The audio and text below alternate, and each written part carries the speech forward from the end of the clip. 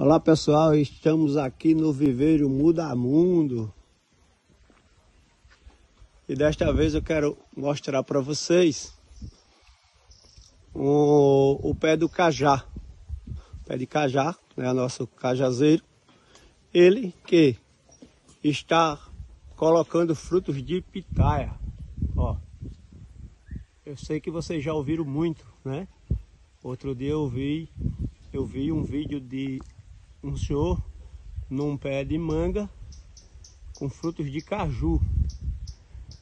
É, garanto a vocês que não é verdade.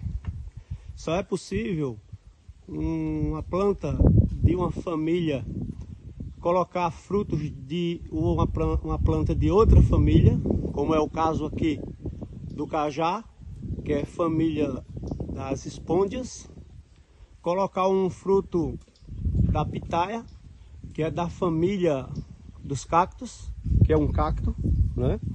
Se for dessa forma, ele servir de estruturação, né? De estrutura. O cacto que nasceu por aqui, ó, a gente colocou de propósito, ele saiu ramificando, né? Pegando carona, servindo de estrutura, de palco para um fruto de pitaia. E o Talvano tá ali, ó, doido para carregar a nossa pitaia. Corta, Talvano, puxa aí a danada.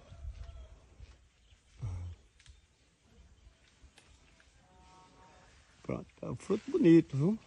Fruto grande. Joga pra cá. Ah, olha, fruto bonito. Então, pessoal, é dessa forma, né?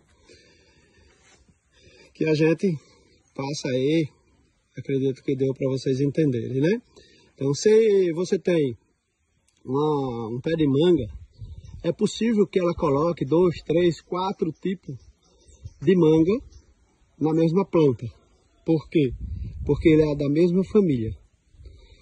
Mas não é possível você mudar a família. Por exemplo, uma laranja, né? na manga na goiaba, mudou as famílias, não consegue de forma nenhuma a gente fazer esse tipo de enxerto.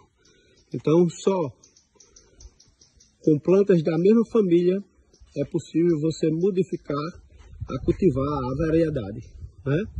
A manga rosa, manga espada, manga palme, manga tome, na mesma árvore é possível. Só dessa forma. Sendo a planta, como já disse, da mesma família.